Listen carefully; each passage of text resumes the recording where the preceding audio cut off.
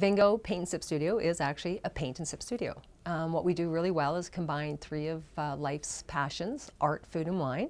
Our um, paint sessions are not a class, it's a social event, so it's really for the non-artist. We want people to come in and have a good time. So if you've never painted and you want to give it a try, it's a really safe place to do it. Our artists will walk you through from a blank canvas to a finished masterpiece, um, and it's a lot of fun. Great girls' night out, date night, um, and we'll be open a year next month.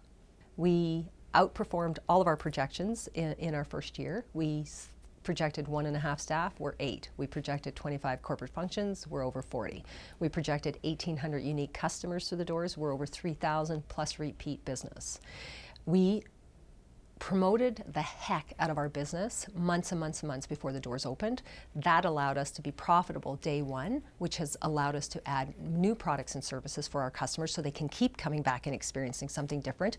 We've gotten repeat customers and we also get referrals. And I think all of that makes us an ideal candidate for the Emerging Growth Award.